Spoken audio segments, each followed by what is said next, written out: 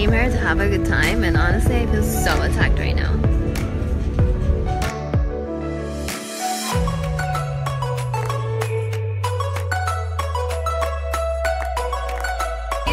Oh, oh my god, post this on one of your YouTube videos and tag me.